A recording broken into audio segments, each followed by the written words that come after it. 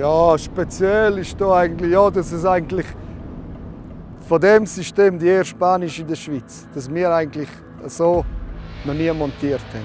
Das eigentlich für uns neu ist, für Garaventen-Monteure selber.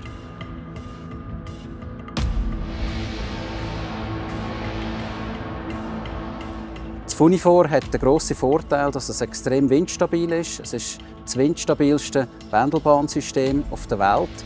Und die beiden Anlagen können unabhängig voneinander fahren. Es kann auch eine revidiert werden und die andere während dem fahren. Das gibt dem Kunden den Vorteil, dass er 365 Tage im Jahr fahren kann mit dem System. Das Projekt hat eine grosse Herausforderung in der Planung, mit dem laufenden Betrieb, mit der Logistik, mit dem Bau in den Bergen. Das sind Themen, die uns beschäftigen. Termine, den Kostendruck und gleich eine gute Qualität können abzugeben, die man dann im Wettbewerb hat zugesichert hat. Die ganzen Bauteile sind hier, die sind eigentlich alle ziemlich in einer gewissen Neigung drin, was es natürlich nicht einfacher macht als gerade Bauteile. Und auch konisch, es tut alles auf, es ist alles schwierig hat auch die Herausforderung, weil Einlagenteile von Caraventa drin sind, die eigentlich ziemlich genau müssen eingemessen werden müssen, auch vom Geometer. Und Genauigkeit ja, ist einfach ein sehr wichtiger Punkt in diesem Teil. Ja.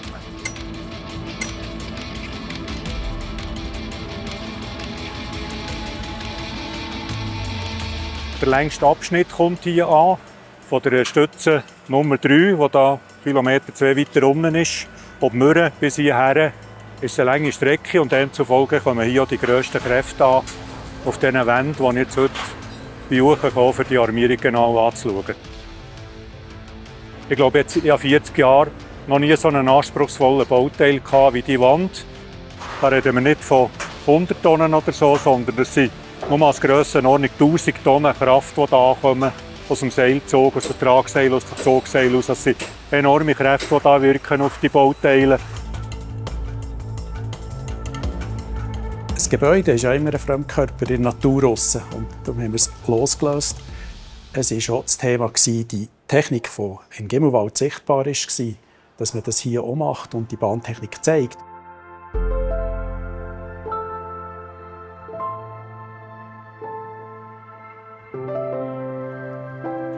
Das Wetter macht mit mir eigentlich nicht viel. Es ist so, wie es ist. Da kann man nichts ändern. Ja, man nützt auch nicht. Einfach so gut wie es geht ignorieren und weitermachen. Und wenn es dann wirklich nicht mehr geht, dann man halt eine Pause einlegen. Und einen Kaffee nehmen.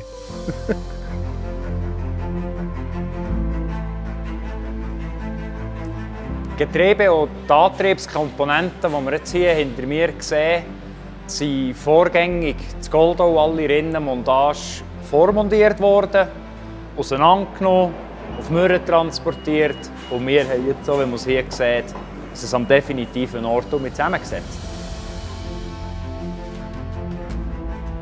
Für diese Sachen zusammenzusetzen, äh, nehmen wir uns die Eigenschaft des Metall zur Hilfe, indem dass wir die Welle hier kühlen und das wird sie ein paar Zehntels Millimeter dünner.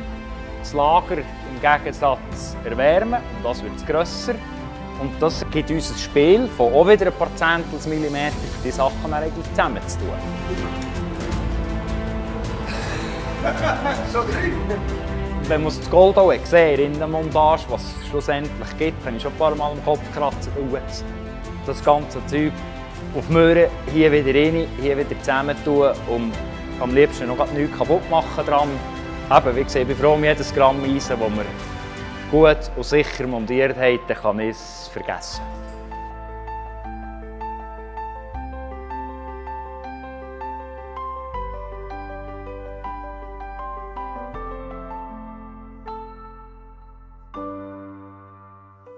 Also wenn ich eine ganz spezifische Herausforderung an diesem Projekt jetzt auf der technischen Seite will erwähnen ähm, dann komme ich mit, der, mit dem Beispiel Stütze 3, mit dem Verschiebechassis. Ähm, wir haben dort äh, das Konzept von einem Dreibein.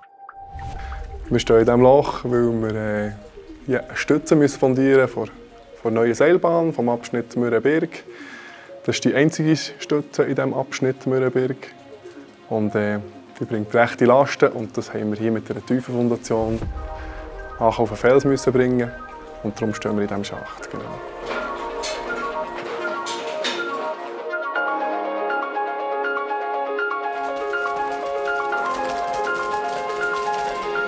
Für die Stütze 3 zu montieren, haben wir einen Oberdreierkran gestellt mit Helikoptermontage, der eine Gesamthöhe von 60 Metern hat, dass wir die Stütze effizient und sicher montieren können. Also jetzt im, im konkreten Fall jetzt am Schildhahn haben wir ähm, sicher eine extrem schwere Stütze, weil man einerseits auf der ersten Sektion und auf der zweiten Sektion je Stütze gespart hat. Das bedeutet, wir müssen höher bauen und ähm, haben mehr Ablenkung auf der Stütze. Und je mehr Ablenkung dass wir auf der Stütze haben, also Seilablenkung, äh, desto größer werden die Seilschuhe. Und entsprechend haben wir da relativ große Dimensionen. Also wir reden hier von Seilschuhen, die um die 25 Meter lang sind. Ich glaube, die Stütze hier ist ziemlich ein Novum auch für Garaventa. Das ist eine Dreibeinstütze, das heisst, die ist nur auf drei Punkten fundiert. Die kann man jederzeit justieren. Das heisst, wenn sich der Hang unter dieser Stütze, unter der Fahrbahnachse fortbewegt, dann können wir eigentlich den Mast zurückstellen.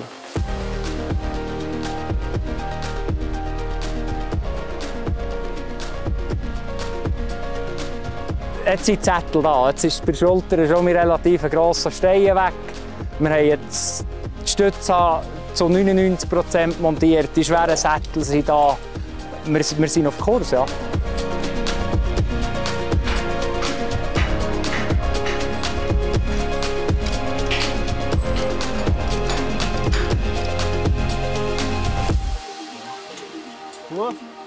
Kann man die bergseitige Winde lösen, bitte?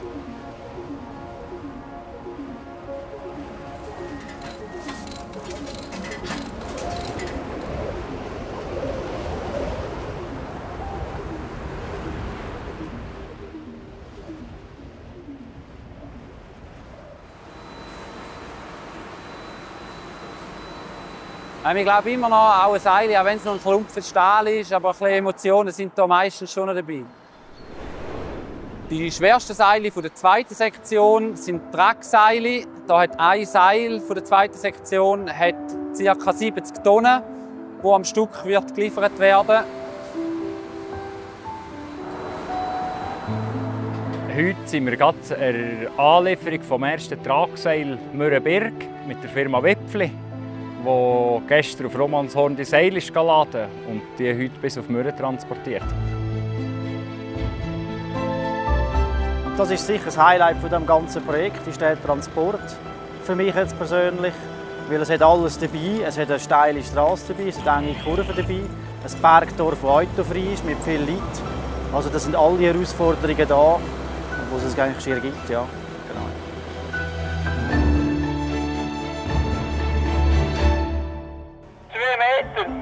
Nicht anders ist lassen. Jawohl. So. Also jetzt heute sind wir ja das Tragseil von Mürren auf das Berg ziehen. Und in diesem Fall braucht es ungefähr neun Personen. Sicher jede Maschine ist besetzt. Jemand, der weisen und jemand, der den Seilzug überwachen. Auch der Vorteil von dieser die Nahseilzugmaschine ist, dass wir die Seil bremsen können, dass während dem Seilzug die Seil höher in der Luft ist, dass wir weniger provisorische Bauten müssen machen für alle Hindernisse, auf der Strecke sind, zum Schiffen oder zu überbrücken. Das ist sicher auch ein gewisser Aufwand, aber wenn es läuft, kommt es gut zusammen.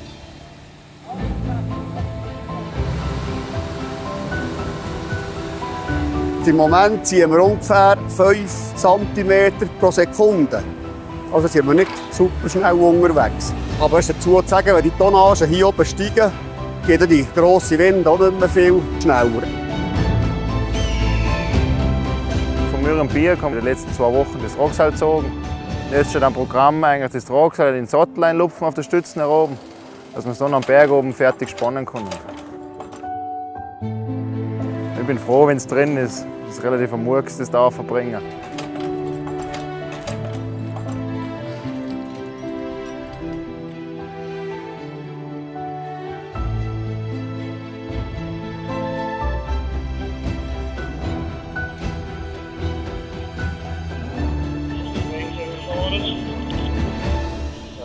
Ausstoßen.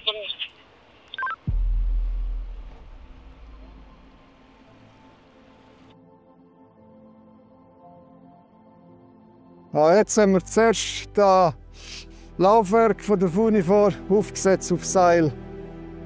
Das ist in ein Einzelteil gekommen. Zuerst den Boden zusammengesetzt und nachher mit dem Kran aufgesetzt auf dem Seil.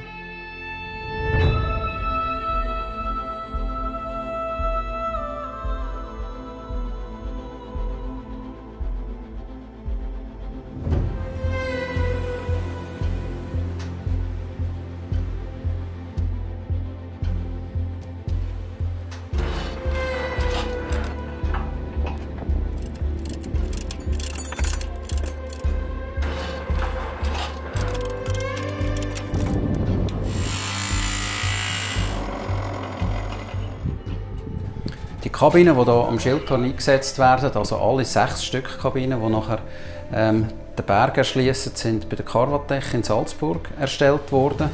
Das spezielle Design wurde extra für dieses Projekt entwickelt und es gibt auch eigentlich dieses Design nur einmal jetzt dann auf der Welt und zwar am Schildhorn. Äh, ist für uns eine Riesenfreude.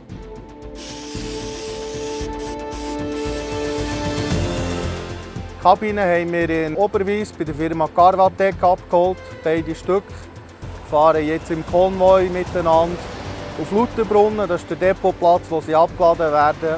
Und in einer späteren Phase werden sie von Lauterbrunnen näher auf Stechelberg geführt. Ja, den haben wir auch, oder? Ja, den haben wir auch. Ja, jetzt heute Morgen sind wir äh, mit dem Laufwerk auf ein Rad gefahren, mit dem Kenk dazu. Alles eingerichtet, zum äh, Kabinen aufziehen. Die Herausforderung ist ein bisschen die Höhe, weil wir nicht vor der Station sind. Und zweitens natürlich das Gewicht von über 6 Tonnen ist die Kabine.